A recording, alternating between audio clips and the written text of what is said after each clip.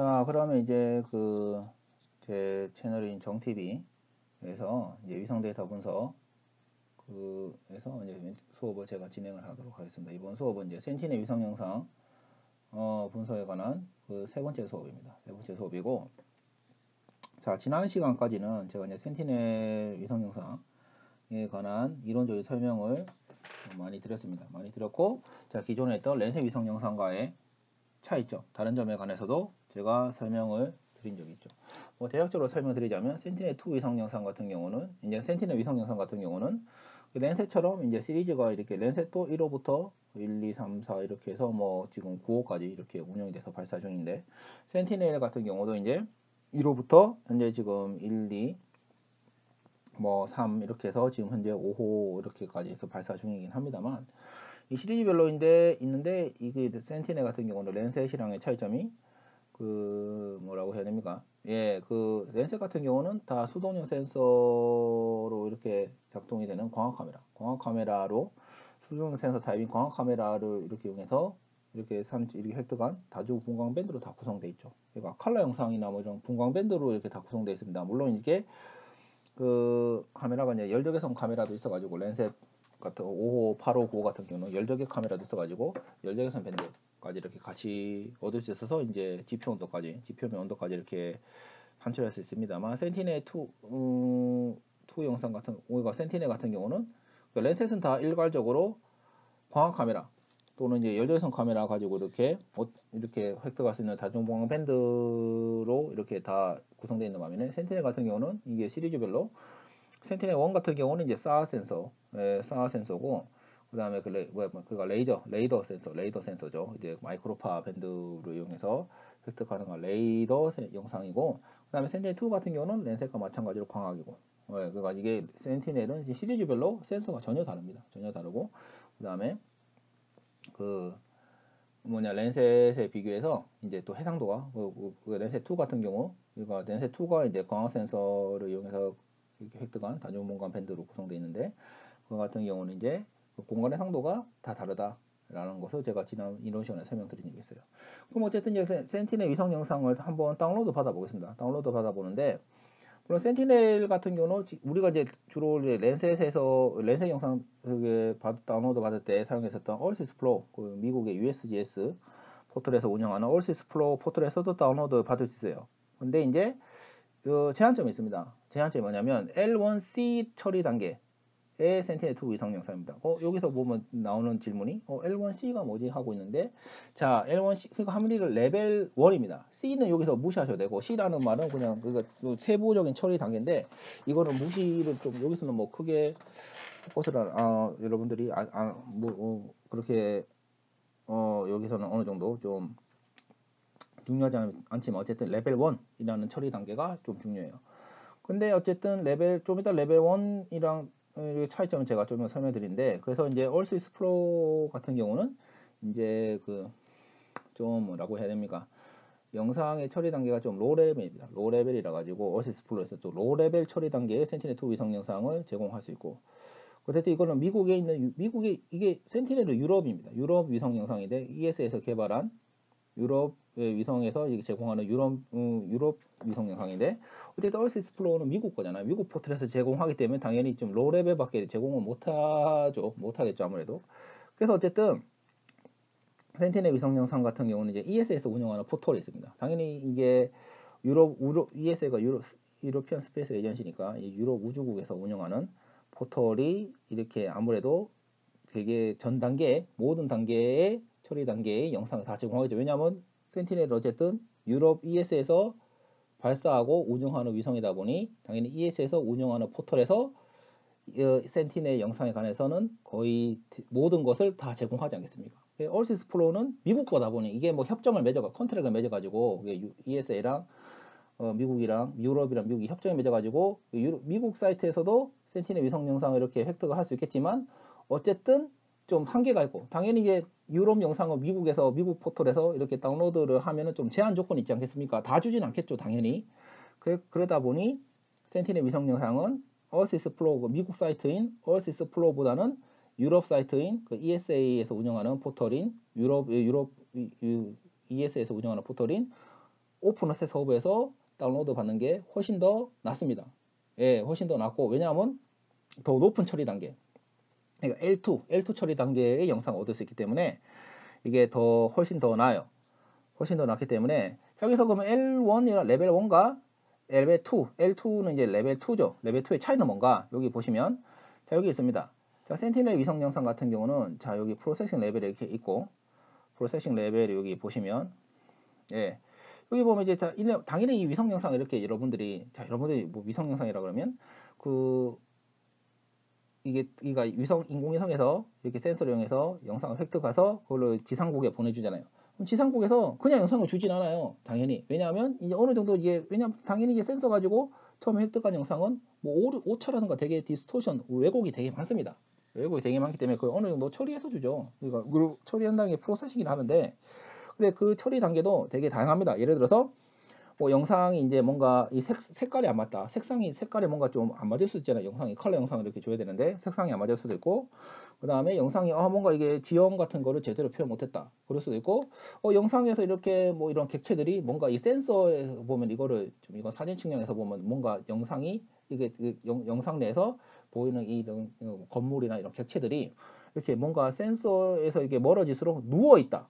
이거 뭔가 누워져서 보인다. 이 센서의 왜곡이거든요. 네, 왜곡 현상이 이렇게 발생할 수 있는데 그거를 다 단계 단계로 이렇게 보정을 해서 줘야지 뭔가 사용자들이 쓸 수 있잖아요. 왜곡이 있는 영상은 사용할 수가 없습니다. 왜냐면 봐봤자 에러 다 에러 흔히들 말하는 에러 덩어리이기 때문에 뭐 어떻게 봅니까? 그래서 이런 처리 단계가 다 있는데 뭐 레벨 제로 같은 경우는 당연히 뭐 이런 처리할 때 레벨 제로는 raw data입니다. 거의 raw data이기 때문에 뭐 이거는 거의 뭐 배포하지도 않고 이거를 우리가 일반 사용자들이 받아봤자 뭐 사용하지도 못하고 음, 레벨 1 같은 경우는 물론 이 레벨 여기서 뭐 위성영상 처리 단계 이 레벨은 이제 그 배포하는 포털에 따라서 다 달라요. 이거는 그꼭 이게 이렇다는 말은 아니지만 어떻게 레벨 1 같은 경우는 Sentinel에서 이렇게 정의하는 이 ESA 유럽 우주 항공에서 정의하는 이 레벨 1의 영상 레벨 1 영상 같은 경우는 방사해상도 그러니까 색, 영상의 색상을 보정한다. 색깔 색상을 이렇게 좀 컬러 영상을 컬러를 보정 컬러 값을 보정하고 그다음에 기하 보정 그러니까 지형이 이렇게 잘 표현하게끔 이렇게 보정하는 기하 보정까지 한 영상 을 이렇게 의미를 합니다. 한 영상을 의미하고 그 다음에 레벨 2 같은 경우는 여기서 정의하는 그 Sentinel 2에서 정, 2, 레벨 2에서 정의하는 Sentinel을 레벨 2에서 정의하는 어, Sentinel에서 정의하는 그 ESA 정의하는 Sentinel 영상의 Sentinel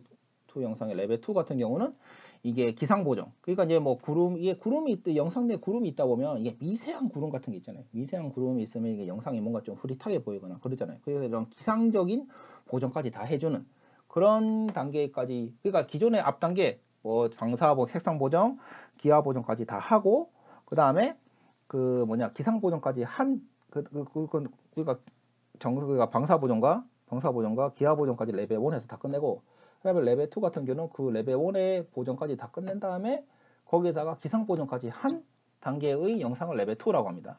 그래서 이게 차이가 보면 딱 이렇게 차이가 나요. 자 여기 보시면 예시가 있네요.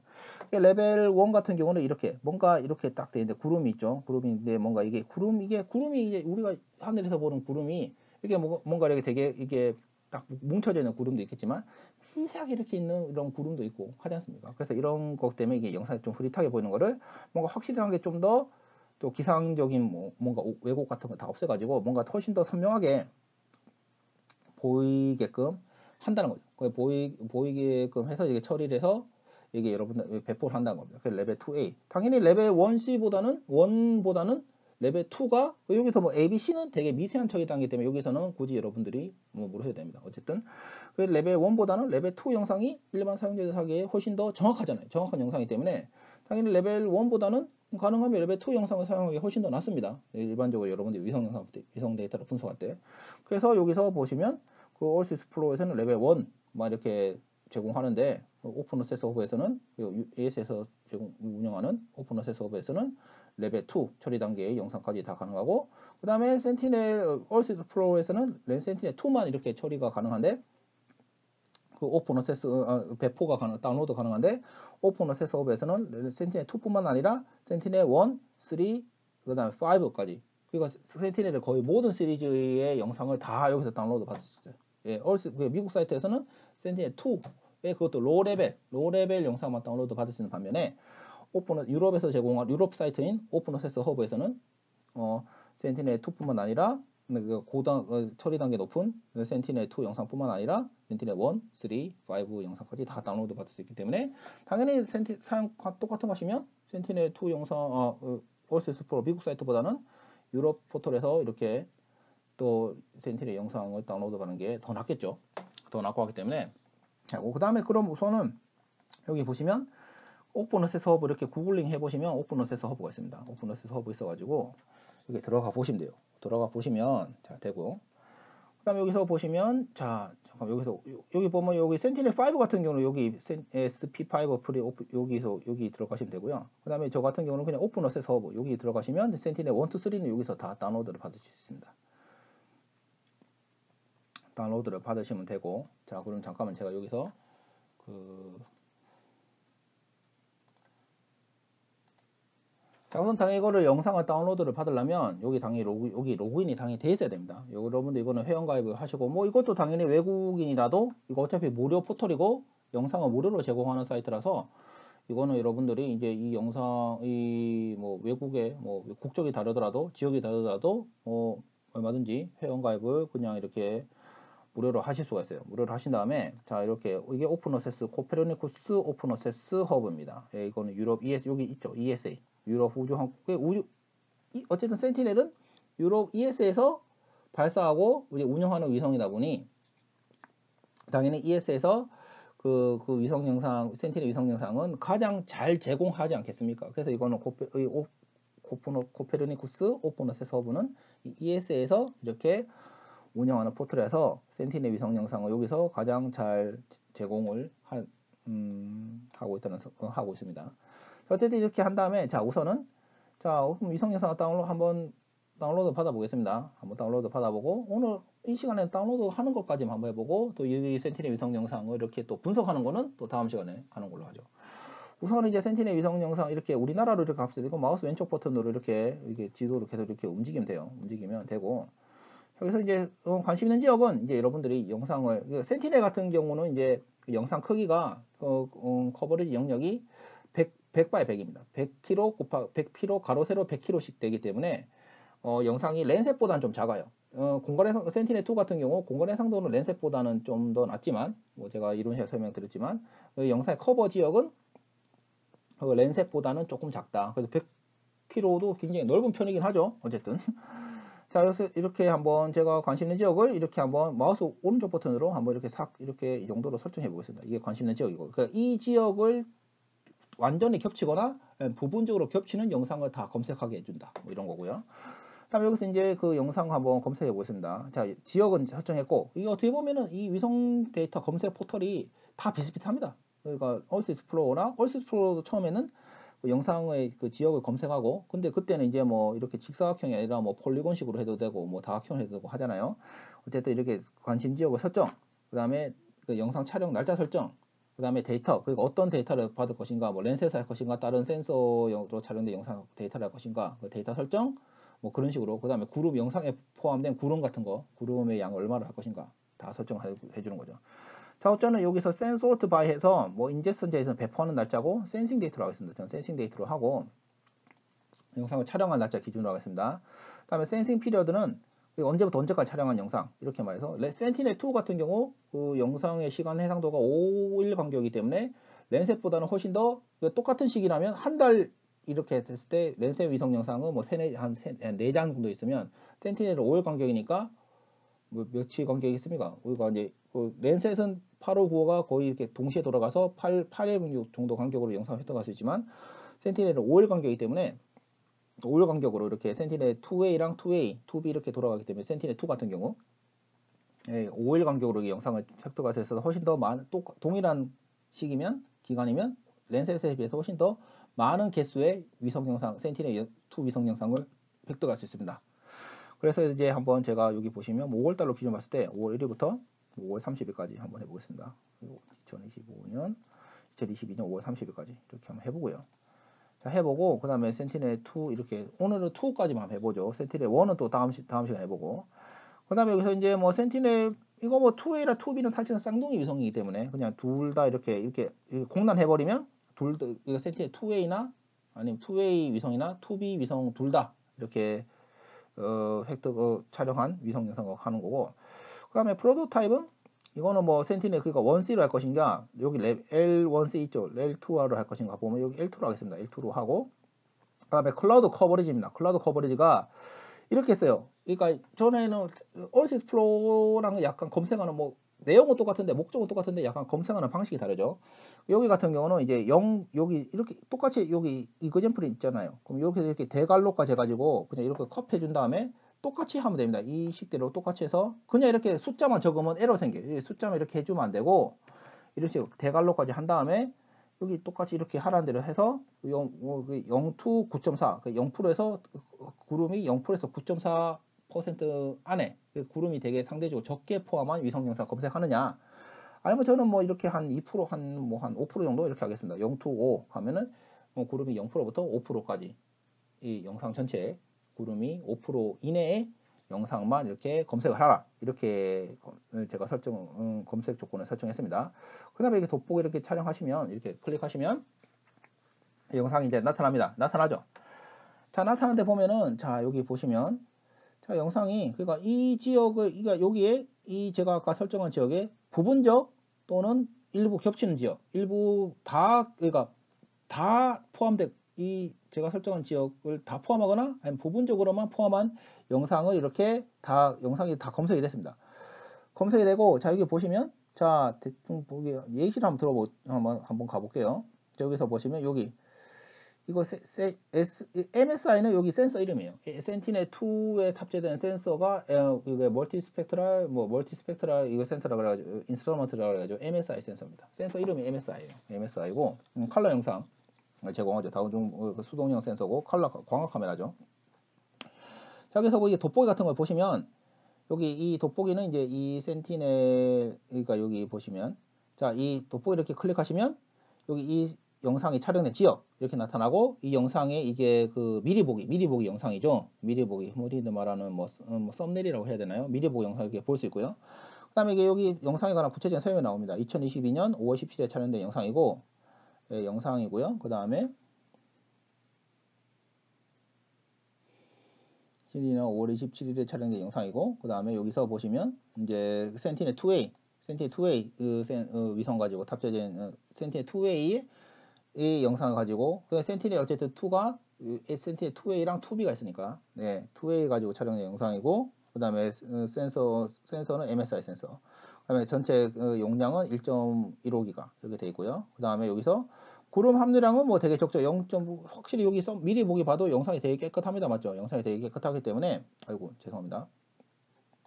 어, 되게 깨끗해서 구름의 함유량은 거의 뭐 한 0% 거의 0%에 가깝네요. 0%에 가깝기 때문에 자 이런 식으로 예, 구성이 돼 있고 그 다음 여기서 보면은 T52SCG는 이게 이것도 이제 타일입니다. 이 영상이 촬영된 이 위치를 이 타일 이거는 타일이라고 그래요. 타일이라고 하는데 이 영상이 촬영된 위치가 이렇게 이렇게 이렇게 이 여섯 자리 여섯 자리요. T52SCG라는 이 여섯 자리 의 이 아, 인덱스로 이렇게 이 타일 이거 영상이 타일이 여기서는 위성 영상에서 보통 타일이라 고 그러면 이 영상이 촬영된 지역 이렇게 아이디로 표현한 겁니다. 이렇게 의미를 하고요. 이런 식으로 한 다음에 이렇게 검색을 한번 해 보시고 예, 검색을 해 보신 다음에 예, 이렇게 끄시면 되고요. 예, 끄시면 되고 자, 여기서 보시면 이제 뭐 여기를 하거나 아니면 이제 그래서 영상 다운로드 받을 때는 자 이거를 이제 아니면 여기 여기 이 지역 같은 경우는 여기 이 십자가 걸린 건 이제 이 지역을 이렇게 뭔가 촬영된 지역으로 이동하게 하는 그런 기능을 가지고 있어요. 이런 식으로 하고 여기 가거나 아니면 이쪽 이쪽으로 가면 여기 이렇게 가면 여기 예, 여기 저기 여기 살짝 살짝 겹치는 영상이죠. 이런 식으로 예, 5월 5일 이렇게 5월 7일 5월 17일 이렇게 이런 식으로 영상을 검색할 수가 있고요. 그 다음에 영상을 다운로드 받으시고 싶으면 여기서 보면은 이 다운로드 product에서 이런 식으로 다운로드 하시면 그럼 이제 영상이 다운로드가 됩니다. 다운로드 되기 때문에 보통 이제 지금 제 컴퓨터가 좀 속도가 인터넷이 좀 뭔가 잘 안 돼가지고 어 좀 느리긴 한데 보통 이 영상 뭐 인터넷만 제대로 되면 영상을 한 10분 내로 다 다운로드 받으실 수 있기 때문에 예, 영상을 이렇게 다운로드를 받으시면 됩니다.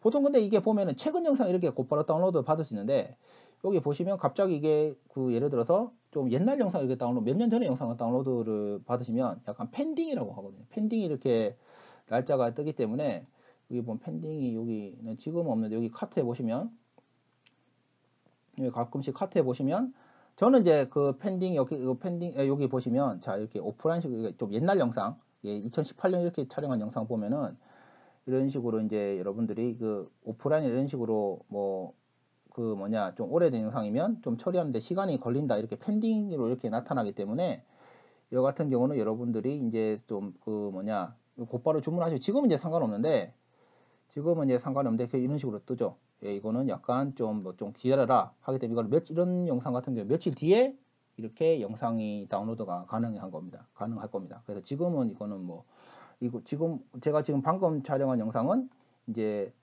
음, 그, 그, 그 뭐냐 5월달에 촬영 방금 주문한 영상은 이제 그거 다운로드 받는 영상은 5월달에 촬영된 영상이니까 비교적 최근이잖아요. 최근이기 때문에 영상을 곧바로 다운로드 받았는데 몇 년 전의 위성 같은 경우는 이게 뭔가 좀 pending을 해서 뭐 몇 시간이 될 수도 있고 한 뭐 maximum 하루 정도면 이게 영상을 좀 처리를 해서 이제 배포 다운로드를 받으실 수 있습니다.